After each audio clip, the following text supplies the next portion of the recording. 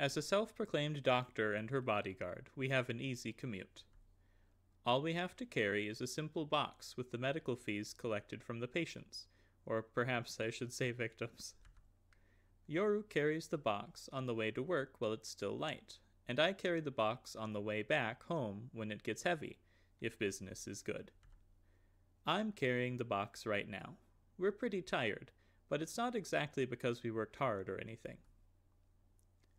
In any case, after work, we get back to the apartment and stop in front of the door to our room. The lock's been hacked open with an axe or something. Even the knob's been torn off. It makes me sad just looking at it. All this time, I've never even thought about how a door might feel.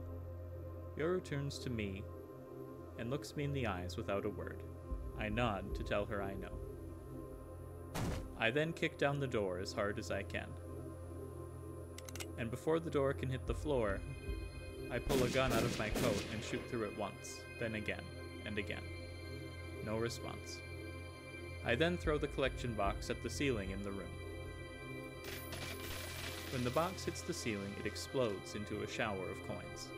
A voice says, Whoa! But it's neither my voice nor yours. Thanks for giving away your position.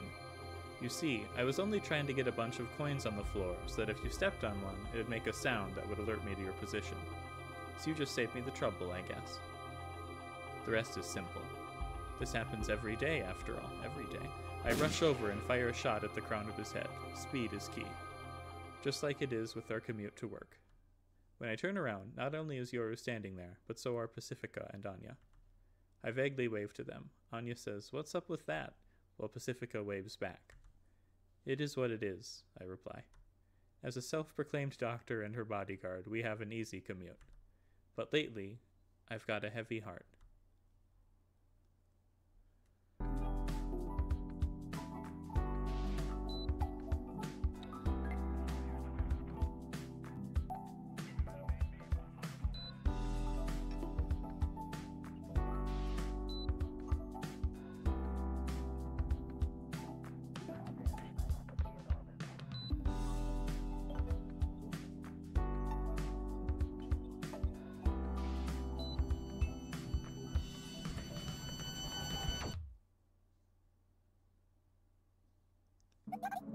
Must be a pain. Things were going fine at first, though. We've been worrying about something lately. And that's the fact that assailants attack us on the way back from work every day. the priest definitely has something to do with it. He's barging into kids' rooms. I know he's a father, but he's not a dad. Here, coffee's ready. Yoru slams coffee cups onto the table, making more noise than necessary. The rims of each cup are slightly chipped. I suppose it's only to be expected, considering the cupboard containing the cups was recklessly toppled over during the home invasion. The room was dirty to begin with, but it's my only home, and now that the enemy has invaded it, it's no longer a safe place. It's a pain indeed. I stare at the rim of my cup to distract myself from the man's corpse still on the floor. This place is home to many memories.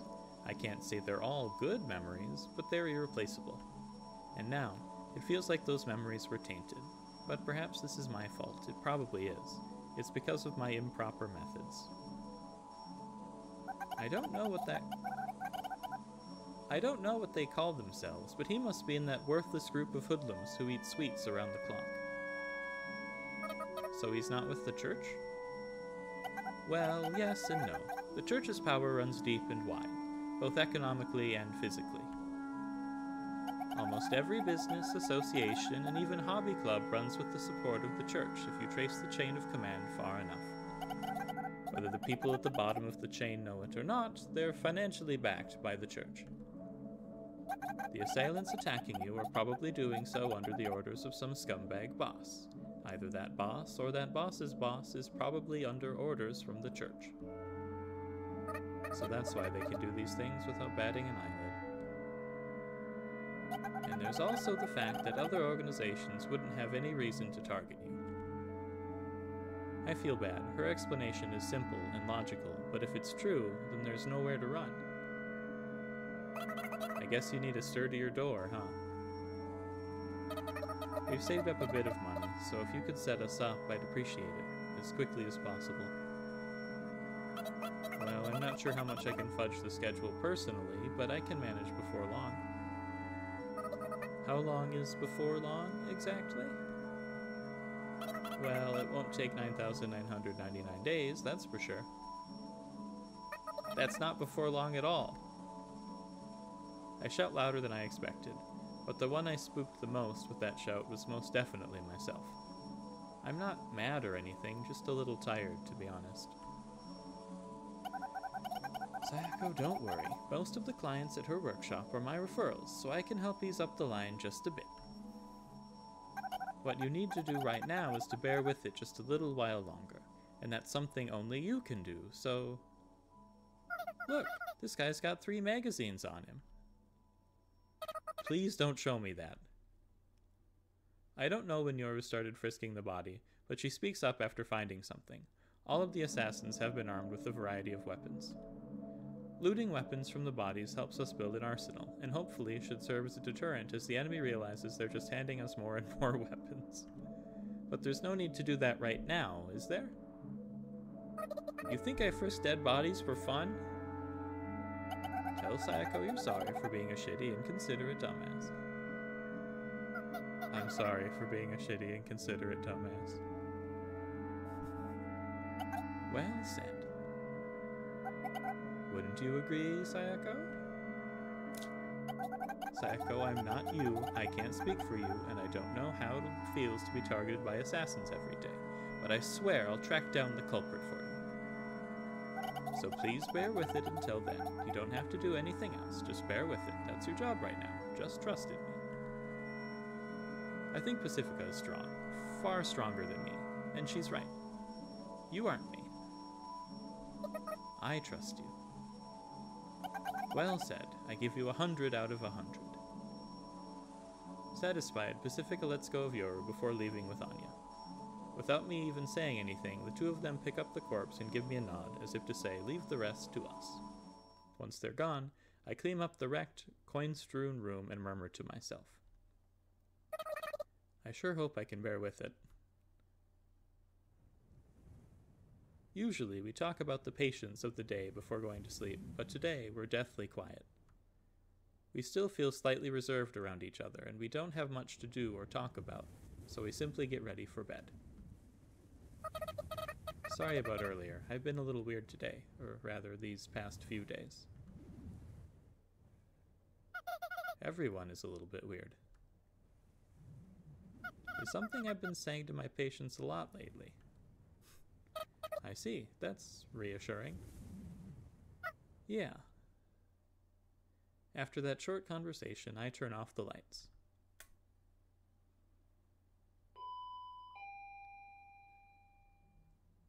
I wake up to the sound of the doorbell. Who could it be this late at night? Uh, I mean, this close to dawn? Door repair? No, it's way too soon for that. Package delivery.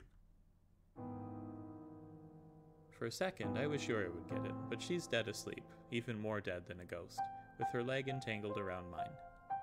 Yoru's pajamas are so unbuttoned she's practically not even wearing them. I chuckle to myself because I've grown so used to seeing her like that, it doesn't even faze me.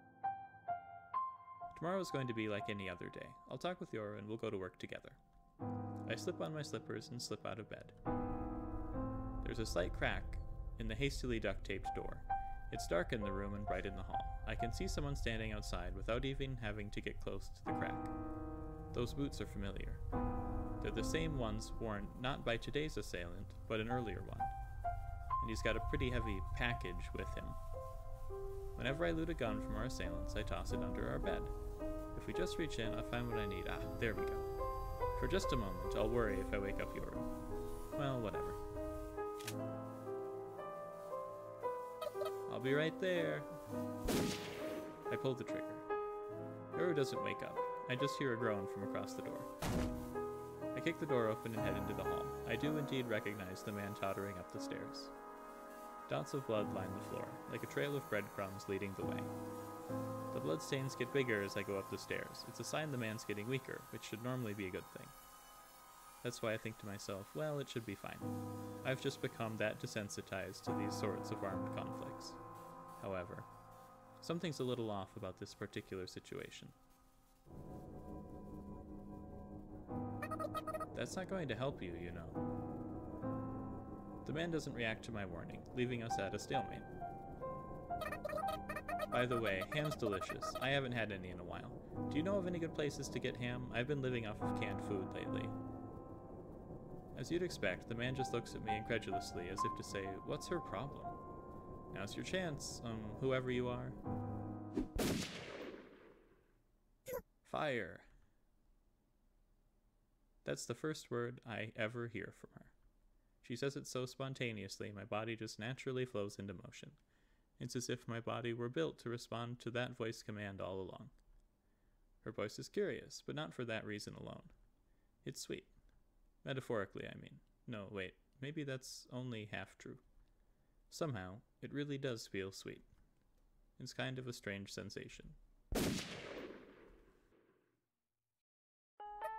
Oh, um, don't mind me. I stare as steam pipes up from the cup of tea placed before me. The rim isn't chipped on this cup, obviously. The one who made the tea is the tall, adult woman who helped out during that scuffle. Her bangs cover her face, so I can't tell where she's looking or read her expression. At the very least, her lips look emotionless. She's honestly a little scary. Her stoicism and burly physique really contrast with the other girl's gentle smile and delicate figure. But what's the most striking about the burly woman is the gaping hole in her gut. It's the gunshot wound from the bullet that pierced through the man's body. I have no idea how much kinetic energy a bullet can maintain after piercing through a man's body, but in any case, the bullet pierced through her clothes and there's blood soaking around the hole. It can't just be a flesh wound. Yet she's completely calm, and she's not the only one. Help yourself. The other girl is just as calm, sitting in what appears to be a somewhat high tech wheelchair. I guess her legs aren't good. I guess her legs aren't. The tire part of the wheelchair smoothly and easily moves across the rug without a problem. It seems like a pretty high class item. Gamer chair. It must run on super magnetism or anti gravity or something like that. Are those technologies commonplace now? I feel like they are, but I also feel like they're expensive. The other girl sits down a little bit away from us, abruptly rolls up her shirt, and exposes the gunshot wound on her stomach. Bleh. Oof. She then quickly takes a first aid kit out of a briefcase, and with a skilled hand, she quickly disinfects the wound and extracts the bullet with large tweezers. She's so calm and nonchalant, you'd think she was just popping a pimple. Um, are you okay? I call out to her without thinking. I'm the reason she got hurt after all. Met. Um. My name. Don't worry about the injury. I train. Miss Met's voice is way more gentle than I imagined. It makes me kind of happy, though I'd be happier if I didn't see the shiny red bullet in the tip of her tweezers. We're ghosts, after all. Even bullet wounds go back to normal before long. What's most important is to avoid immediate death. Huh. Oh, um, I'm... Sayako. Sayoko. I know. You're famous. Isn't that right, Met? Famous indeed. Huh. I'm sitting on a sofa in a room just two floors above ours, trying to make myself as small as possible. Our entire room is smaller than just this living room. At least I think it's a living room.